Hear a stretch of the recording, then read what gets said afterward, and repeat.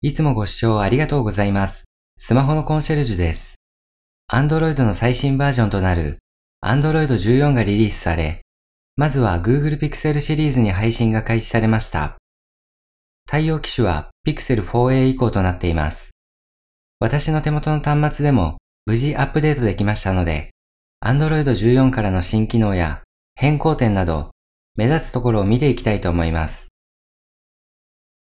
スマホのコンシェルジュの YouTube チャンネルでは、スマホやパソコンの使い方を学べる動画を優しく丁寧に解説しております。よろしければチャンネル登録をお願いいたします。それでは早速やっていきましょう。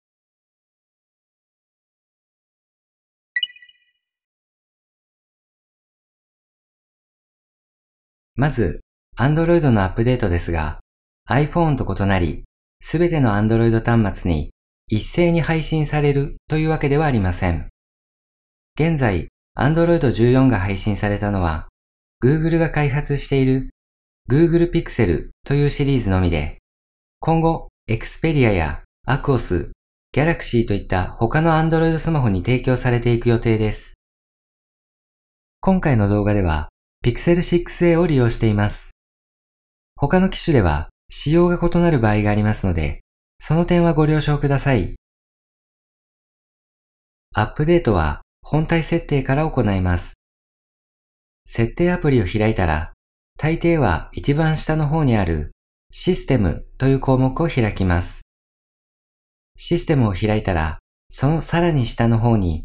システムアップデートという項目があります。ここでアップデートの有無を確認することができます。アップデートをチェックをタップすると、このようにシステムアップデートが利用可能と書かれた画面が出現しました。アップデートする際は、ダウンロードしてインストールをタップすると、アップデートが始まります。今回のような大きなアップデートの場合、ダウンロードしてくるデータも、やはり大きくなる傾向があります。私のスマホの表示では 1GB とありました。ダウンロードが終わると再起動を促されるので、再起動すればアップデートの完了です。アップデートの完了には全体で1時間以上かかりました。その間スマホは操作不能になってしまうので、バタバタしている時にわざわざ OS のアップデートを行うのは避けましょう。思ったより時間がかかってどうしようもない場合には一時中断が行えるので、アップデートを一旦中断して再度時間のある時に再開することも可能です。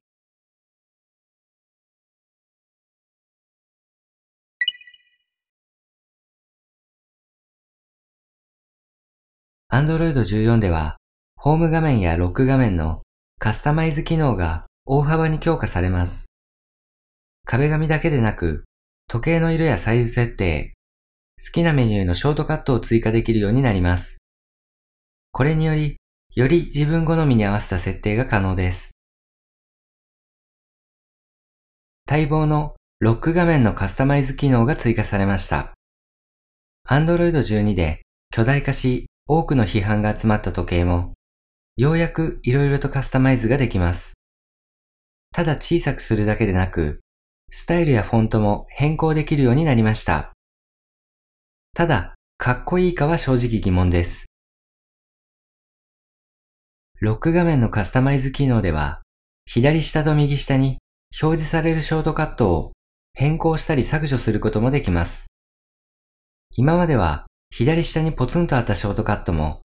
好みの機能を割り当てたり、一切なくすこともできたりと、任意で選択可能です。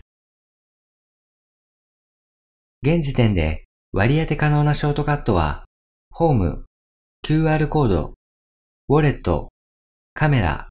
サイレントモード、ビデオカメラ、ミュート、ライトの中から左右2つを選択できます。残念ながら好きなアプリを割り当てることはできません。使用する際は、ロック画面内の各ボタンを長押しすることによって起動することができます。ロック画面をカスタマイズするには、本体設定より壁紙とスタイルから行います。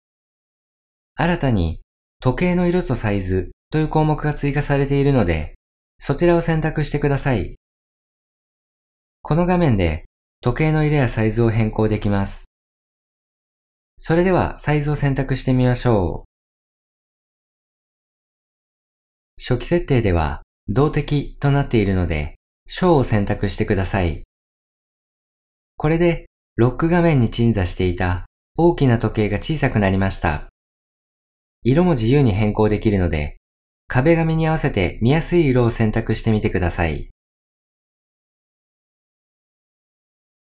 時計のサイズと色を変更できたら、続いてデザインの変更も行ってみましょう。先ほどの画面で時計を左右にスライドすると、時計のデザインを変更することが可能です。変更可能な時計のデザイン一覧を載せておきますので、好みのものをセットしてみましょう。続いて、ロック画面のショートカットを配置していきます。壁紙とスタイルの画面を下にスクロールします。すると、ショートカットの項目が見つかります。こちらから左右に任意のショートカットを配置できるので、好みのショートカットを配置してみましょう。Android 14では画面ロックを6桁以上のピンに設定している場合、ロック解除時に正しい数字を入力すると自動的にロックが解除できるようになります。今までは数字を入力し終わった後、決定キーを押さなければロック解除できなかったので、より使いやすくなった印象です。加えて、Android 14では画面ロック解除時のピンコード入力の際に入力しているパスワードを完全に非表示にできるようになりました。Android 13までは、ピンコードを入力した際に、数字が一時的に数秒表示されていましたが、Android 14では、数字の一時表示がされなくなりました。ロック画面のコード入力については、もう一つ新機能があります。今までは、ピンコード入力中にタップした数字が光るアニメーションが提供されていましたが、この機能をオフにすることが可能となりました。これにより、盗み見によるパスワードの漏洩の可能性が少なくなります。この光るアニメーションオフにするには、本体設定よりセキュリティとプライバシーから行います。こちらの画面を開いたら、下にスクロールしてください。デバイスのロックという項目が見つかったら、そちらを選択します。画面ロックをピンに設定している方は、設定アイコンをタップします。設定メニューを開いたら、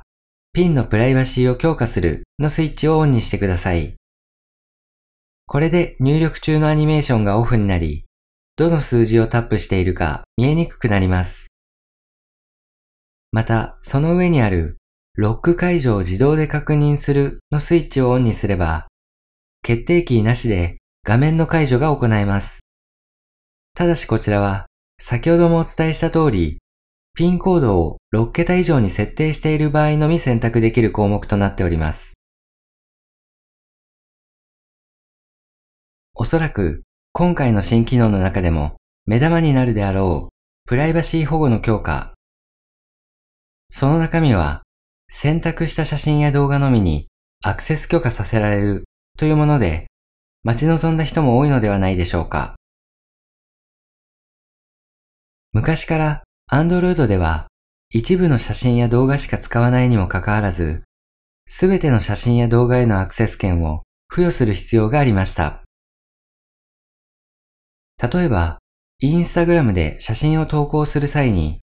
投稿する写真にのみアクセスさせられればいいのですが、すべてのファイルへのアクセス権限を許可する必要があり、このポップアップ画面に気持ち悪さを覚えて断念したという方も結構いらっしゃるのではないでしょうか。実はこの機能、Android 13で登場していたものの、Twitter をはじめとして多くのアプリがこの機能を採用しないという選択をしています。もちろん、利用頻度の高いアプリで、毎回このポップアップが表示されるというのも、使い勝手を損なってしまうので、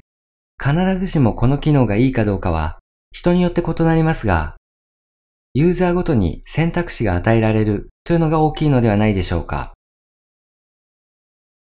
Android 14では、アプリが実装していない場合でも、ユーザーの選択によってこのプライバシー保護機能を使えるようになりました。iPhone ではすでに実装されていた機能なので、セキュリティ面でもだいぶ追いついてきた印象です。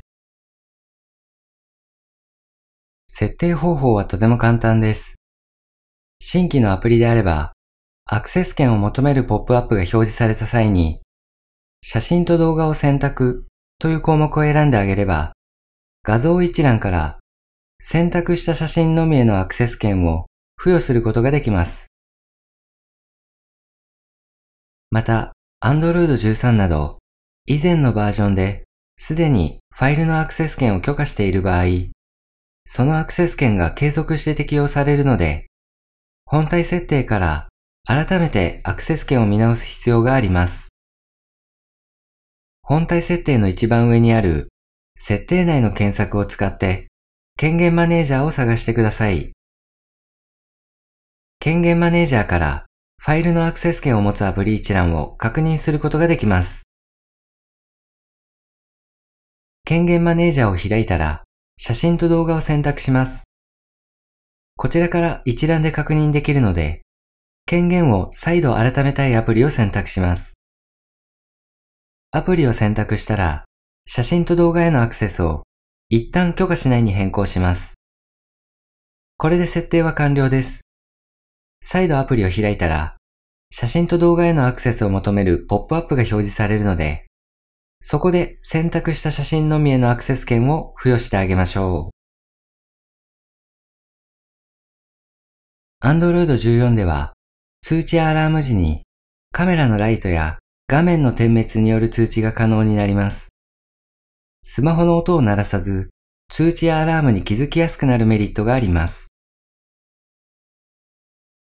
通知を受け取った時、またはアラームが鳴った時に画面を設定した色で点滅させる新機能、点滅による通知が追加されます。例えば、赤ちゃんのいるご家庭など、音を鳴らしたくない状況で活躍しそうです。点滅時の画面の色も選択できるため、自分の好きな色にカスタマイズすることが可能です。カメラのフラッシュライトを点滅させることもできますが、かなり強烈な光が出るので、カメラのライトは全くお勧めできません。点滅による通知を設定するには、本体設定より通知から行います。こちらの画面を開いたら、下にスクロールしてください。点滅による通知という項目が見つかったら、そちらを選択します。点滅による通知は、スマホ画面とカメラのフラッシュライトのどちらか、または両方から選択することができます。先ほどもお話しした通り、カメラのフラッシュライトはかなり強烈なので、今回は画面の点滅を選択しました。初期設定ではイエローとなっていますが、スイッチ左の文言部分をタップすれば、任意の色を設定することが可能です。プレビューを使うと、どんな感じで点灯するかを確認できるので、好みの色を選択してみましょう。ちなみにこの機能、どれくらいバッテリーに影響を与えるかはまだ検証できていませんので、バッテリー消費が体感で速くなった気がしたら、改めてオフにしてもいいかもしれません。Android 14では、着信音と通知音のボリュームを個別に設定できる機能が追加されました。従来の Android では着信音と通知音は一括での調整しかできなかったため、例えば通知音を控えめにしておいて、電話の着信だけは大きな音を鳴らすといったような詳細なカスタマイズは行いませんでした。ちなみに、この個別設定は、機種やメーカーによってはすでに可能なものもあり、Galaxy などは個別に設定できます。こちらの機能は音とバイブレーションから設定可能です。Android 14では見た目や操作性など使いやすさも向上しています。ジェスチャーナビゲーションを設定している際の戻るアイコンが変更になりました。Android 13までは戻るアイコンが少々見えづらかったのですが、Android 14では戻るアイコンに背景色がつくようになり、見やすさが向上しています。Android 14からミュートアイコンのデザインが変更になりました。以前はベルマークのようなアイコンで通知アイコンと被っていたので、よりわかりやすくなった印象です。また、充電開始直後のアニメーションにも変更があり、ステータスバーにある電池アイコンが数秒大きく光るようになりました。加えて、電池残量をパーセント表示に設定していなくとも、充電開始時には電池残量がパーセント表示されるようにもなっています。その他にも、前回フル充電してからどれくらい利用しているかを確認できたり、フォントサイズを最大200%まで拡大可能になったり、言語設定とは別に地域によって異なる温度単位、週最初の曜日、数字の表記変更が可能です。また、デバイス情報からそのスマホの製造年が確認できるようになりました。最後におまけとして、開発者向けオプションに追加された新機能の中から個人的に良かったものを一つご紹介します。開発者オプション自体は万人向けにご紹介するものではないので、余談としてご視聴いただければ幸いです。ナビゲーションバーの背景は基本的に透明で表示されますが、背景が黒色で表示されて画面が小さく見えるようなこともあり、これが個人的には結構ダサく感じています。Android 14では開発者向けオプションとして透明なナビゲーションバーが追加され、このオプションをオンにするとナビゲーションバーの背景が透過されるようになりました。ただし、オーバーレイヤーでは表示されないため、本物の透過ではありません。開発が進むにつれて、透過が進む可能性があります。以上、Android 14について、主だった変更点を見ていきました。今後追加される機能についても随時アップデートしていければと思いますので、他にも新機能があればコメント欄にてシェアしていただけると幸いです。また、ゲームアプリなどは個別にまだアップデートを控えるよう告知されている場合もあるので、その点はご注意ください。今回の動画はこちらで以上です。最後までご視聴いただきありがとうございます。メンバーシップにて動画のテキスト版も配信しておりますので、よろしければご登録ください。それではまた次の動画でもよろしくお願いいたします。